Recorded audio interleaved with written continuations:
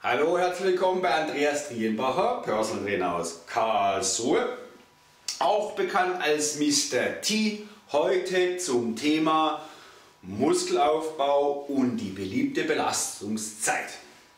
Immer noch, egal in welche Fitnessstudios ich mich befinde, egal welche Videoclips ich sehe, zu größten Anteilen wird ein ganz krasser Fehler gemacht.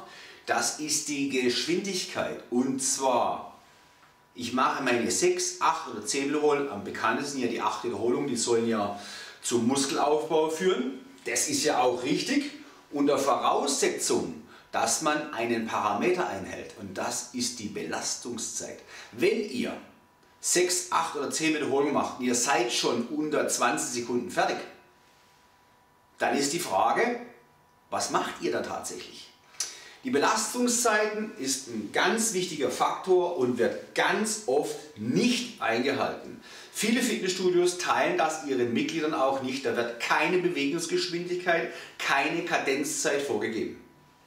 Nicht nur, dass die meisten Trainingspläne hier pauschal sind, groß, dick, dünn, klein, äh, abnehmen, zunehmen, alle haben den gleichen Trainingsplan. Nein, es wird auch noch vergessen, dass es eine sogenannte Belastungszeit, Kadenzzeit gibt und somit von 0 Sekunden, was nicht möglich ist, bis so circa 20 sind wir eher kraftorientiert. Ein Wiederholung, 2, 3, 4, 5, 6 übergehen.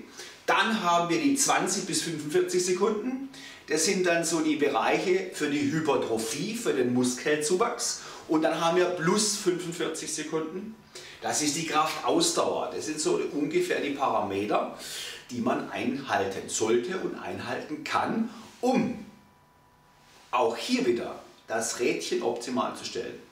Ein Erfolg besteht nie nur aus einer Sache, besteht nie nur ein Gewicht von A nach B zu bewegen, sondern es sind noch andere Parameter. Und da ist ein ganz wichtiger Parameter die Belastungszeit und die könnt ihr einhalten. Legt euch mal eine Uhr hin und achtet mal darauf, weil die meisten trainieren ja mit 8 Wiederholungen und achtet mal darauf, wo ihr landet. Die meisten landen unter 20 Sekunden, weil sie viel zu schnell fertig sind. Also, ich hoffe, ihr habt wieder was gelernt. Demnächst gibt es wieder mehr von Personal Trainer Anders Triembacher, bekannt als Mr. T. Auch zum Thema Trainingsvideos werde ich demnächst ein bisschen was starten. Bis dahin wünsche ich euch alles Gute, Andreas Triembacher, Personal aus Karlsruhe. Deine Fitness, deine Belastungszeit, meine Aufgabe.